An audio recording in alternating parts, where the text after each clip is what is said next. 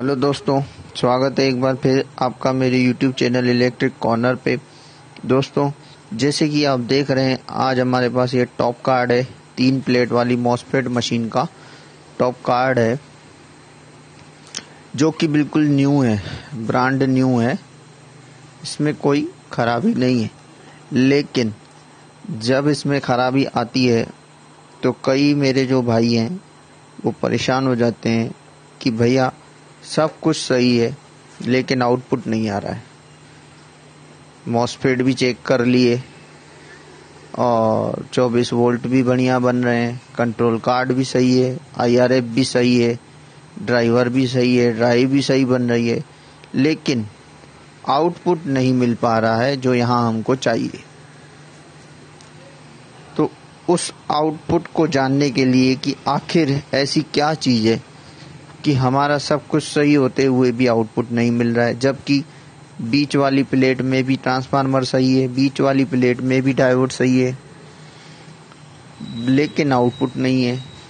तो दोस्तों, हमें ये मालूम है कि आईआरएफ जो होते हैं आईआरएफ आईआरएफ जेड चौबीस नाइन जेड चौबीस इनमें जो सप्लाई आती है वो कंट्रोल कार्ड के द्वारा आती है।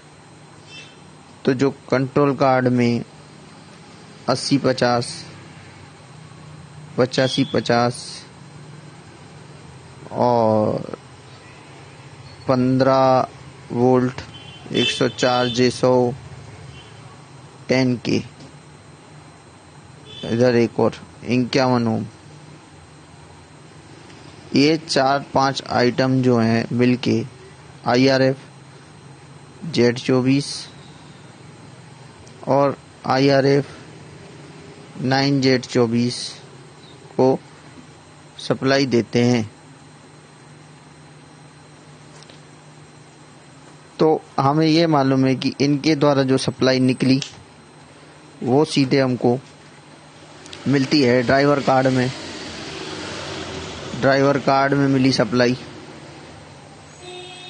तो दोस्तों, यहाँ से भी सप्लाई ओके है, ड्राइवर कार्ड में भी ओके है, लेकिन लेकिन लेकिन जब हम इस सप्लाई को मॉसफेट को देते हैं, ये जो बारह लगे होते हैं तो यहाँ ना आउटपुट आ रहा है।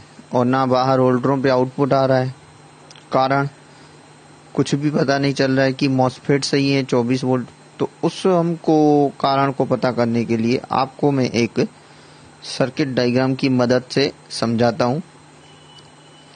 और उसके बाद फिर डायग्राम भी दिखाऊँगा। तो दोस्तों, होता क्या है, देखो। मॉसफेट का जो इंटरनल होता है, पहले हम मॉसफेट बनाते हैं।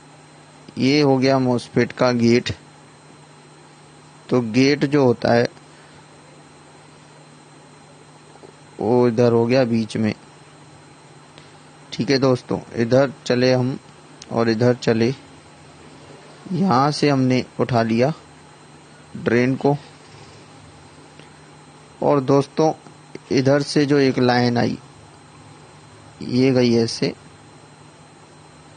ये हमने बना दिया मोसफेट और इन दोनों के बीच में दोस्तों एक drain to source drain to source आप कभी भी नापेंगे ना, एक डायोड होता है लगा। ये इंटरनल मोसफेट का इंटरनल डायग्राम है। इंटरनल हुआ क्या दोस्तों? ये जो मोसफेट होता है हमारा तीन तीन के चैनल में लगा है। तो ये इसका गेट है, ये इसका ड्रेन है और ये इसका सोर्स है। अब हमारी वेल्डिंग मशीन में क्या होता है दोस्तों, ये जो दो पॉइंट हैं, एक ड्रेन और एक सोर्स, इनके बीच में एक रेजिस्टेंस और एमओवी या वीआरडी बोल दीजिए इसको। वीआरडी जुड़ी होती है कौन सी? ये दोस्तों देखिए। एक ये रेजिस्टेंस और एक ये एम या वी आर डी जो भी आप बोलते हो अपनी भाषा में, यहाँ पे लगी होती है। होता क्या है दोस्तों? देखिए। ये है सैतालीस ओम पाँच वाट की रेजिस्टेंस और ये है चार सौ इकहत्तर टू के वी ठीक है? तो होता क्या है दोस्तों, ये जब खराब हो जाती है तो दिखने में पता नहीं चलता है कि ये खराब है, लेकिन ऊपर से थोड़ा सा कालापन आ जाता है या नीचे से तो हमको वो दिखाई नहीं देता है। और हम कभी इस पे ध्यान भी नहीं देते हैं कि यार ये खराब है या सही है। तो इसके खराब होने से हो क्या जाता है दोस्तों? इसको करते हैं साइड ये कनेक्शन हो जाता है कट दिया हुआ है ड्रेन टू सोर्स जो सप्लाई आएगी इस मॉसफेट को मान के चलिए 330 वोल्ट तो अभी तो प्रोटेक्ट है किसके द्वारा? इसके द्वारा। लेकिन जब ये खराब हो गया तो कनेक्शन तो बीच में टूट गया ना। तो ये जो कनेक्शन टूट गया तो अब ड्रेन टू सोर्स तो कोई सप्लाई नहीं हुई। जब सप्लाई नहीं हुई तो मॉसफेट चालू कैसे होगा भैया? गेट पे तो हमने चेक कर लिया। गेट को तो हम चेक कर रहे हैं, लेकिन इस पे भी तो होना चाहिए ना भैया। इस चीज़ को हम नेग्लेक्ट करते हैं, इसीलिए ये मॉसफेट रनिंग नहीं करता है और बाहर हमको आउटपुट नहीं मिलता है। तो दोस्तों, ये जो प्रक्रिया है ना, चारों चैनलों पे निर्भर करती है। आइए समझते हैं कैसे। जैसे कि एक कुर्सी में चार पाँव हुए, एक, दो, तीन और ये चार। चार पाँव होते हैं। अगर मान लीजिए एक पाँव भी छोटा हो गया या खराब हो गया तो कुर्सी तो टिकेगी नहीं टिकेगी नहीं तो अब ये कुर्सी है मान लीजिए इनपुट इससे हम बैठ के आउटपुट लेते हैं। तो बैठेंगे तो ये क्या गिरा देगी ना हमको? गिरा देगी तो मतलब किसी काम की नहीं। तो इसी तरह से वेल्डिंग मशीन में भी चार पहिए हैं। कौन से पहिए हैं? एक पहिया दो पहिए, तीन पहिए, चार पहिए। जब ये चारों पहिए हमारे सही होंगे, तभी जाके आउटपुट निकलेगा। एक भी पहिया खराब, आउटपुट बंद। तो हमको इस चीज़ पे गौर करना है। बहुत कॉमन चीज़ है, लेकिन हम छोड़ देते हैं। और जो जैसा है वैसा ही कर देना है हमको फिर से। तो ऐसा भी नहीं करना है कि भैया कई लोग मेरे को फ़ोन करके एक पूछते हैं कि यहाँ अठारह एन पचास लगा है, पच्चीस एन एक सौ बीस लगा है, दूसरा इंडक्शन का पड़ा है, दिखने में वैसा ही है। अरे तो ऐसे थोड़ी होता है। एक पाँव में अठारह एन पचास लगाए हो, एक पाँव में पच्चीस एन एक सौ बीस लगा दिए, चलेगा थोड़ी। और इंडक्शन वो आई जी बी टी है, तुम मॉस्पेट में घुसे रहे। वो नहीं होगा। जो जैसा लगा है, वैसा ही होगा। अगर आपको इक्विवेलेंट चाहिए तो आप गूगल में सर्च कीजिए। डाटा शीट निकालिए एम्पियर देखिए वोल्टेज देखिए। फिर लगाइए आपको जो लगाना है। अब वो फ़ोन करे सर बार बार उड़ गया बार बार उड़ गया। तो बार बार उड़ेगा ही ना। गलत लगाओगे तो। तो दोस्तों, ध्यान देने की बात जो थी, वो यही थी। इसको आप अच्छे तरीके से चेक करें, जिससे कि आपका आउटपुट बढ़िया आ जाएगा और वेल्डिंग करने लगेगी। यही चीज़ थी जो आपको बतानी थी। दूसरी तो जैसे कि आप देख रहे हैं, ये मोस थ्री प्लेट आर्क 200 का डायग्राम है, थ्री प्लेट वाली का। इसमें मैं आपको दिखा रहा हूँ। ये देखिए। मैंने आपको बोला, ये अच्छे से नहीं दिख रहा है, यहाँ से करके देखेंगे। तो ये जो लिखा है, वो लिखा है, ये जो तीन मोसफेट लगे हैं ना दोस्तों, एक, दो, तीन, चार। मैंने भी क्या बताया, चार पाँव, एक, दो, तीन, चार। चार पाँव में देखेंगे दोस्तों, मान लीजिए हमने ये वाला चैनल उठाया इसका तो इसमें यहाँ पे देखिए, ये है सप्लाई। क्लियर नहीं दिख रहा है दोस्तों, थोड़ा बहुत छोटा है, ठीक है?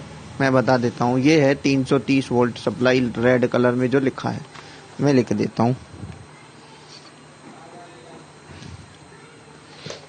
मान लीजिए, ये है 330 वोल्ट सप्लाई आ रही है यहाँ से डीसी ये 330 वोल्ट डीसी मैंने आपको बताया, एक रेजिस्टेंस लगी है और एक चार सौ इकहत्तर, टू के वी तो इसमें देखेंगे दोस्तों जैसे,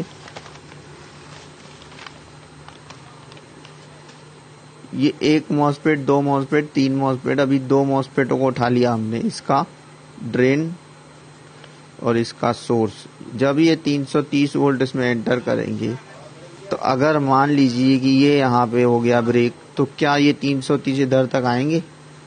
या इन दोनों के भी सप्लाई बनेंगी? जब ये सप्लाई नहीं बनेगी तो ये कैसे हमको तीनों आउटपुट देंगे?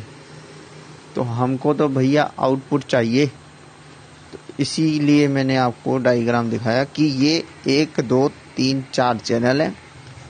और जो आईआरएफ की बात की, वो इसमें आपको एक I R F nine Z चौबीस जेड चौबीस नाइन जेड चौबीस जेड चौबीस, ये चार लगे यहाँ से सप्लाई आगे बढ़ी। तो यही था दोस्तों। जो आपको बताना था कि कभी भी इसको नेगलेक्ट ना करें। ये चीज़ काफ़ी बड़ी है, पूरी सप्लाई तोड़ देती है। सर्किट के प्रोटेक्शन के लिए है तो सर्किट का प्रोटेक्शन तोड़ देना मतलब आप समझते हैं कि करंट इधर उधर नहीं जाता। और दोस्तों, जिस भी भाई को ऑनलाइन कोर्स करना हो वेल्डिंग मशीन का फॉर ऑनलाइन कोर्स तो वो इस नंबर पे कांटेक्ट करें और जिसको स्पेयर पार्ट्स वेल्डिंग मशीन के आल टाइप के स्पेयर पार्ट्स चाहिए, वो भी इस नंबर पर कांटेक्ट करें। पूरी जानकारी मिल जाएगी। स्पेयर पार्ट्स में हमारे पास, दोस्तों, मैं आपको पहले भी बता चुका हूँ और एक बार फिर से दिखा देता हूँ, पूरी रेंज अवेलेबल है। ये प्लेटें वेल्डिंग मशीनों से लेके पूरी सभी रेंज हमारे पास मिल जाती है। आपको जो चाहिए आप कांटेक्ट करके मंगा सकते हैं। आई जी बी टी मॉसपेट सभी प्रकार के नंबर हमारे पास अवेलेबल होते हैं। ये सभी प्रकार के डायोड वगैरह जो भी हैं, सब मिल जाएँगे। ओके दोस्तों वीडियो कैसे लगा शेयर सब्सक्राइब लाइक कमेंट ज़रूर करें।